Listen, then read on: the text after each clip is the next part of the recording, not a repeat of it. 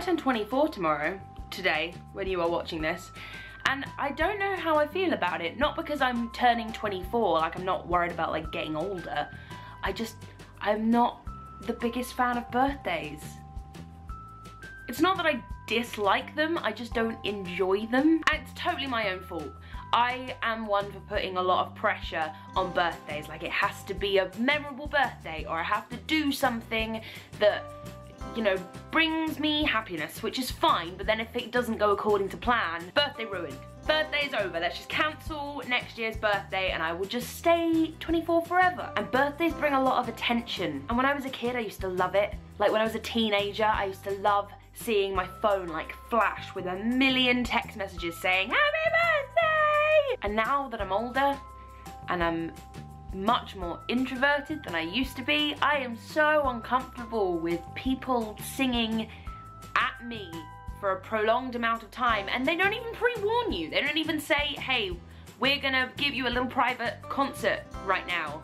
We're gonna all serenade you as a group together in three, two, one. They just surprise sing at you. What are you supposed to do? What are you supposed to do when people sing happy birthday to you? Because I still haven't figured it out. In 24 years, I still don't know. Singing along is one option, but I think it's a pretty bad option because then you're singing to and about yourself. Option number two, pretend you're absolutely loving it and lap it up as much as you possibly can, even though your soul is shriveling and dying inside at the prospect of having to blow out one more candle more than last year. Or there's option three, which is the option that I usually opt for, which is just standing there awkwardly, not knowing where to put your hands. So you go from crossing them to putting them in your pockets, putting them behind you, to sort of touching your face in an awkward manner, to pushing your hair out the way back and forth and back and forth until the song is over and you can relax again. Last year was a particularly unsuccessful birthday. Let me, let me tell you a little story. Let me tell you a little story about when I turned 23. It's been a year, I can laugh now. I got overly excited about my birthday because it was my last birthday that I would be spending in Les Mis. So I thought, here I am now turning 24 and I will be spending my day tomorrow rehearsing for Les Mis in Dubai, which is, by the way, what my next job is. Haven't said that yet. I'm gonna be in Les Mis in Dubai for a month, woo! Let's breeze over that quickly. So I was like, this is it. This is my last birthday in Les Mis, and it's my last chance to do something when I've got this whole cast of friends who want to celebrate with me. Let's go salsa dancing. It sounded fun, and it was fun. It was fun for a while. So I went and had lunch with Pete at my favourite cafe, which is a place called the Doll's House. That was at like two o'clock, and then at half four I had to head in and go do a performance of Les Mis. And so Two o'clock was the last time I had eaten, and as soon as the show had finished, I was given a bottle of champagne by someone in the cast, and I was like, well, it's my birthday. Let's just crack it open. So I'm getting ready to go out and having, you know, a little glass of champagne, and then my friend Paul Wilkins comes downstairs, and all of a sudden, oh no, there's no more champagne left, we've had the bottle between us. So we prance outside, meet up with Pete and all of the rest of the cast, and we start walking to this salsa bar, and I suddenly realise that I'm already quite tipsy. And because it's my birthday, everyone's buying me drinks and stupidly I'm just like, yeah, it's my birthday, I'm just gonna drink them all. And so I drank a lot in a very short space of time.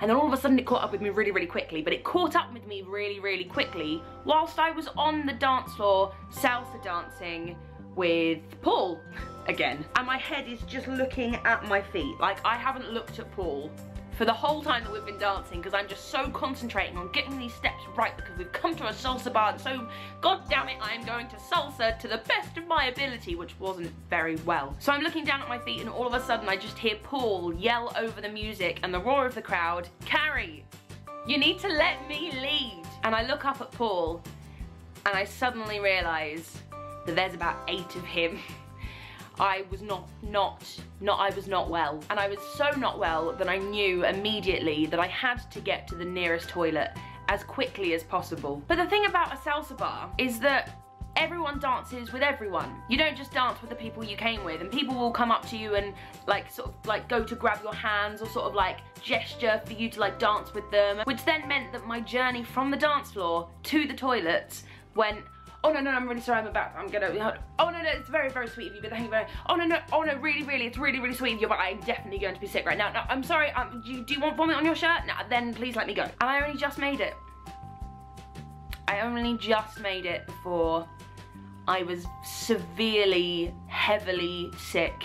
So I sorted myself out and I came outside and I was like, Pete, I think we need to go home. Oh God, I just remembered that's not the end of the story. So we get in the cab and I, I'm not good in cars anyway. I get car sick really quickly. And every movement of this car is making me go, So Pete just leans over really like politely and like, uh, excuse me, excuse me kind driver, excuse me sir, could you stop the car just for a memento please, thank you so much. So the really nice cab driver stops the car and I open the door and vomit again.